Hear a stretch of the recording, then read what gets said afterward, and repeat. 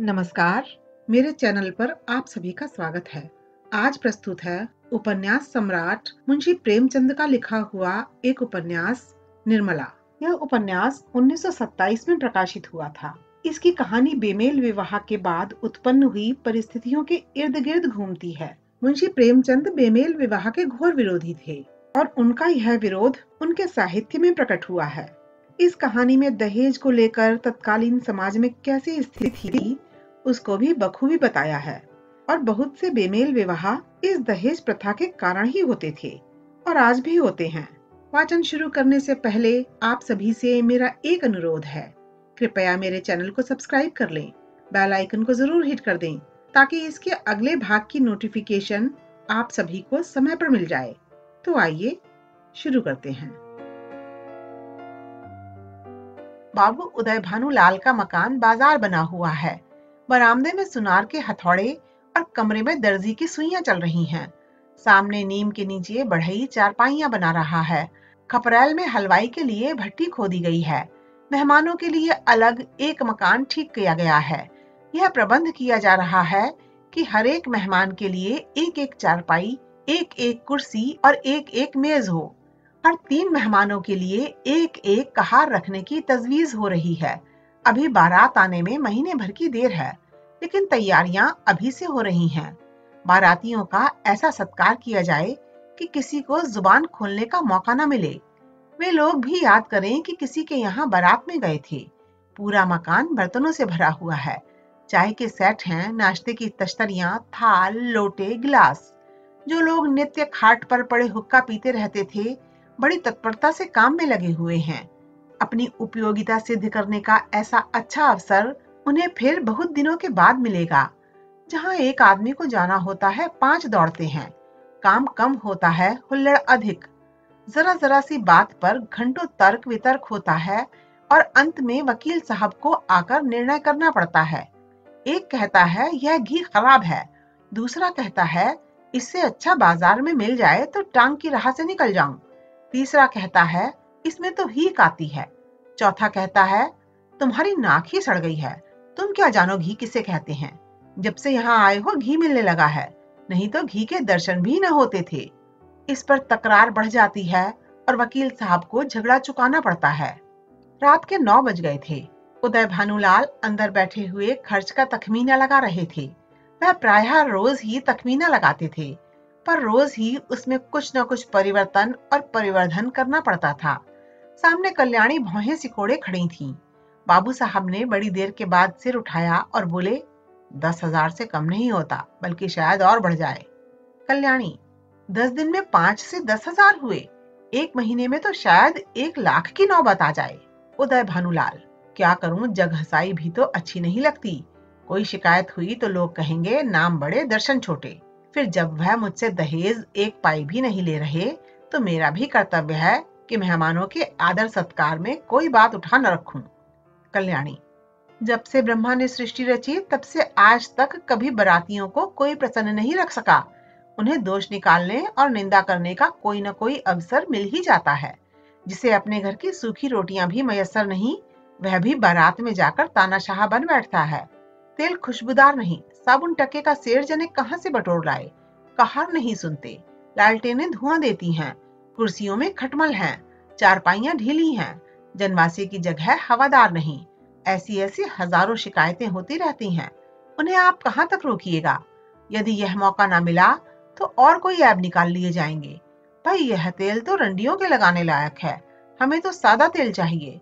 जनाब ने यह साबुन नहीं भेजा है, अपनी अमीरी की शान दिखाई है। मानो हमने साबुन देखा ही नहीं। ये कहार नहीं, यमदूत हैं।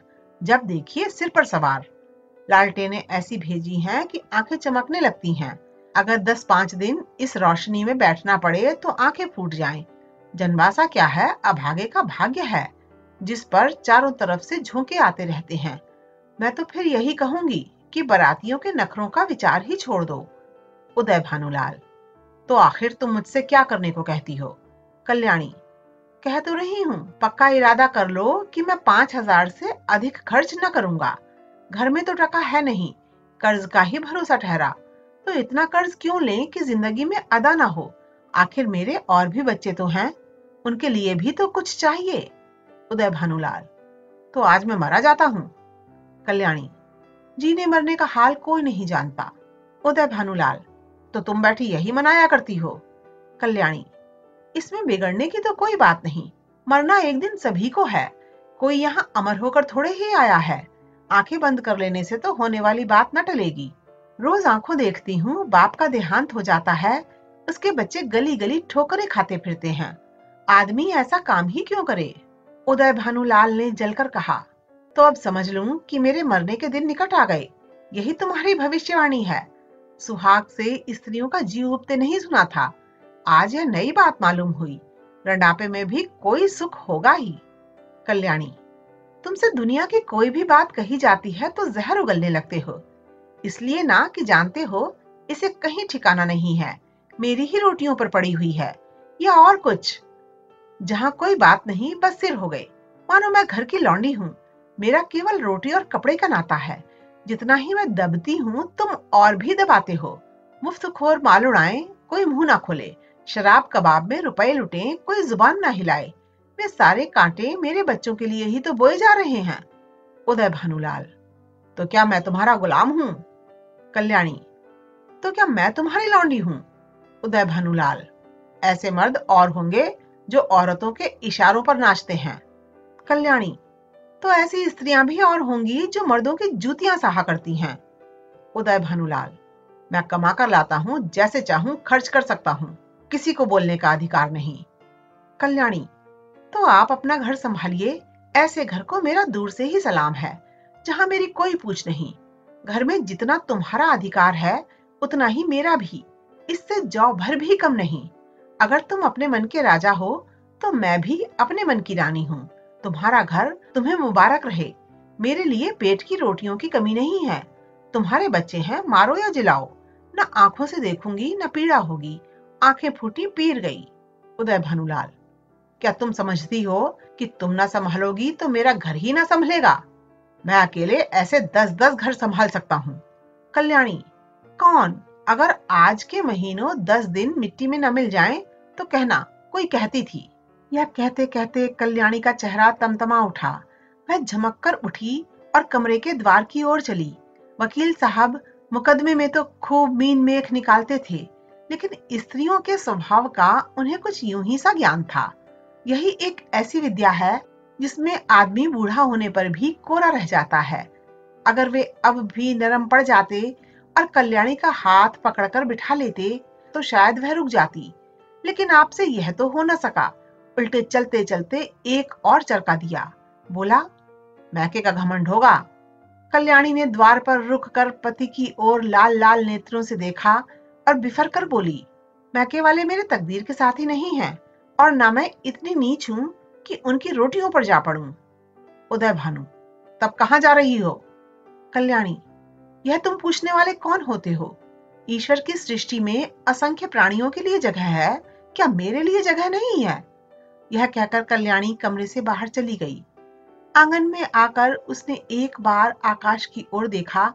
मानो तारागण को साक्षी दे रही है कि मैं इस घर से कितनी निर्दयता से निकाली जा रही हूँ। रात के ग्यारह बज गए थे। घर में सन्नाटा छा गया था। दोनों बेटों की चारपाई उसी के कमरे में रहती थी। वह अपने कमरे में आई। देखा चंद्र भानु सोया है। सबसे छोटा सूर्य भानु चारपाई पर उठ बैठा है। माता को देखते ही बोला, तुम तहा दई थी, अम्मा? कल्याणी दूर से ही खड़े खड़े बोली, कहीं तो नहीं बेटा, तुम्हारे बाबूजी के पास गई थी। सूर्य, तुम तली दई मुझे अकेले दल लगता था। तुम क्यों तली गई थी, बताओ? यह कहकर बच्चे ने गोद में चढ़ने के लिए दोनों हाथ फैला दिए। कल्याणी अब अपने को न रोक सकी। मातृ स्नेह के सुधा प्रवाह से उसका संतप्त हृदय परिप्लावित हो गया। हृदय के कोमल पौधे, जो क्रोध के ताप से मुरझा गए थे, फिर हरे हो गए। आँखें सजल हो गईं। उसने बच्चे को गोद में उठा लिया और छाती से लगाकर बोली, तुमने पुकार क्यों न लिया बेटा? सूर्य पुतालता तो था, तुम थुनती न थी। बताओ, अब तो तभी न दाओगी।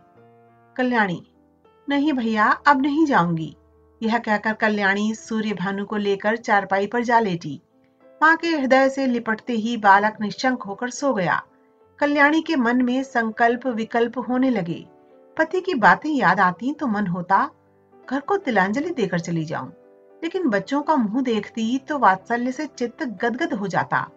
बच्चों को किस पर छोड़कर जाऊँ? मेरे इन लालुओं को कौन पालेगा? ये किसके होकर रहेंगे? कौन प्रातःकाल इन्हें दूध और हलवा खिलाएगा? कौन इनकी नींद सोएगा? इनकी नींद जागेगा? बेचारे कौड़ी के तीन हो जाएँगे। नहीं प्यारों, मैं तुम्हें छोड़कर नहीं जाऊँगी। तुम्हारे लिए सब कुछ सह लूँगी। निरादर, अपमान जली कटी खोटी खरी खुड़की झिड़की सब तुम्हारे लिए सह लूँगी। कल्याणी तो बच्चे को लेकर लेटी पर बाबू साहब को नींद ना आई। उन्हें चोट करने वाली बातें बड़ी मुश्किल से भूलती थीं। उफ, यह मिजाज। मानो मैं ही इनकी स्त्री हूँ। बात मुँह से निकालनी मुश्किल है। अब मैं इनका गुलाम होकर रहूँ। घर में अकेली यह रहें और बाकी जितने अपने बेगाने हैं सब निकाल दिए जाएँ। जला करती हैं। मनाती हैं कि यह किसी तरह मरे तो मैं अकेली आराम करूँ। दिल की बात मुँह से निकल ही आती है, चाहे कोई कितना ही छिपाए। कई दिन से देख रहा हूँ, ऐसी ही जली कटी सुनाया करती हैं। मैके का घमंड होगा, लेकिन वहाँ कोई भी ना पूछेगा। अभी सब आओ भगत करते हैं, जब जाकर सिर पर पड़ जाएँगी तो आटे दाल का भाव मालूम हो जाएगा। रोती हुई जाएँगी वह हरे घमंड। सोचती हैं, मैं ही यह गृहस्थी चलाती हूँ। अभी चार दिन को कहीं चला जाऊँ तो मालूम हो जाएगा। सारी शेखी किरकिरी हो जाएगी। एक बार इसका घमंड तोड़ ही दूँ। जरा वैधव्य का मज़ा भी चखा दूँ। न जाने इनकी हिम्मत कैसे पड़ती है कि मुझे यूँ कोसने लगती हैं। मालूम होता है प्रेम इसे छू नहीं गया है। या समझती है या घर से इतना चिमटा हुआ है कि इसे चाहे जितना कोसूं, टलने का नाम ल लेगा। यही बात है, पर यहाँ संसार से चिमटने वाले जीव नहीं है। जहन्नुम में जाए यह घर जहाँ ऐसे प्राणियों से पाला पड़े। घर है या नरक? आदमी बाहर से थका मांदा आता है तो उसे घर में आराम मिलता है। यहाँ आराम के बदले कोसने सुनने पड़ते हैं। मेरी मृत्यु के लिए व्रत रखे जाते हैं। यह है 25 वर्ष के दाम्पत्य जीवन का अंत। बस, चल ही दूँ। जब देख लूँ इनका सारा घमंड धूल में मिल गया और मिजाज ठंडा हो गया तो लौट आऊँगा। चार पाँच दिन काफ़ी होंगे। लो, तुम भी याद करोगी किसी से पाला पड़ा था। यही सोचते हुए बाबू साहब उठे रेशमी चादर गले में डाली, कुछ रुपए लिए, अपना कार्ड निकालकर दूसरे कुर्ते की जेब में रखा, छड़ी उठाई और चुपके से बाहर निकले। सब नौकर नींद में मस्त थे। कुत्ता आहट पाकर चौंक पड़ा और उनके साथ हो लिया। पर यह कौन जानता था कि यह सारी लीला विधि के हाथों रची जा रही है? जीवन रंगशाला का वह निर्दय सूत्रधार किसी अगम गुप्त स्थान पर बैठा हुआ अपनी जटिल क्रूर क्रीड़ा दिखा रहा है। यह कौन जानता था कि नकल असल होने जा रही है? अभिनय सत्य का रूप ग्रहण करने वाला है। निशा ने इंदु को परास्त करके अपना साम्राज्य स्थापित कर लिया था। उसकी पैशाचिक सेना ने प्रकृति पर आतंक जमा रखा था। सदवृत्तियाँ मुँह छिपाए पड़ी थीं और कुवृत्तियाँ विजय गर्व से इछलाती हुई फिरती थीं। वन में वन्य जंतु शिकार की खोज में विचर रहे थे और नगरों में नगर पिशाच गलियों में मंडराते फिरते थे। बाबू उदय भानुलाल लपके हुए गंगा की ओर चले जा रहे थे। उन्होंने अपना कुर्ता घाट के किनारे रखकर पाँच दिन के लिए मिर्जापुर जाने का निश्चय किया था। उनके कपड़े देखकर लोगों को डूब जाने का विश्वास हो जाएगा। कार्ड कुर्ते की जेब में था। पता लगाने में कोई दिक्कत न हो सकती थी। दम के दम सारे शहर में खबर मशहूर हो जाएगी। आठ बजते बजते तो मेरे द्वार पर सारा शहर जमा हो जाएगा। तब देखूँ देवी जी क्या करती हैं। यही सोचते हुए बाबू साहब गलियों में चले जा रहे थे। सहसा उन्हें अपने पीछे किसी दूसरे आदमी के आने की आहट मिली। समझे कोई होगा? आगे बढ़े, लेकिन जिस गली में वह मुड़ते, उसी तरफ़ यह आदमी भी मुड़ता था। तब बाबू साहब को आशंका हुई कि यह आदमी मेरा पीछा कर रहा है। ऐसा आभास हुआ कि इसकी नीयत साफ़ नहीं है। उन्होंने तुरंत जेबी लालटेन निकाली और उसके प्रकाश में उस आदमी को देखा। एक बलिष्ठ मनुष्य कंधे पर लाठी रखे चला आता था। बाबू साहब उसे देखते ही चौंक पड़े। यह शहर का छटा हुआ बदमाश था। तीन साल पहले उस पर डाके का अभियोग चला था। उदय भानु ने उस मुकदमे में सरकार की ओर से पैरवी की थी। और इस बदमाश को तीन साल की सजा दिलाई थी। तभी से वह इनके खून का प्यासा हो रहा था। कल ही वह छूट कर आया था। आज देवात साहब अकेले रात को दिखाई दिए तो उसने सोचा, यह इनसे दांव चुकाने का अच्छा मौका है। ऐसा मौका शायद ही फिर कभी मिले। वह तुरंत पीछे हो लिया और वार करने की घात में ही था कि बाबू साहब ने जेबी लालटेन जलाई। बदमाश जरा ठिठक कर बोला क्यों बाबू? पहचानते हो? मैं हूँ मतई। बाबू साहब ने डपट कर कहा, तुम मेरे पीछे पीछे क्यों आ रहे हो? मतई, क्यों? किसी को रास्ता चलने की मनाही है? यह गली तुम्हारे बाप की है। बाबू साहब जवानी में कुश्ती लड़े थे। अब भी रिष्ट पुष्ट आदमी थे। दिल के भी कच्चे न थे। छड़ी संभाल कर बोले, अभी शायद मन नहीं भरा। अब की सात साल को जाओगे? मतई मैं सात साल को जाऊँगा या चौदह साल को, पर तुम्हें ज़िंदा न छोड़ूँगा। हाँ अगर तुम मेरे पैरों पर गिरकर कसम खाओ कि अब किसी को सजा ना कराऊँगा तो छोड़ दूँ। बोलो, मंजूर है? उदय भानु, तेरी शामत तो नहीं आई?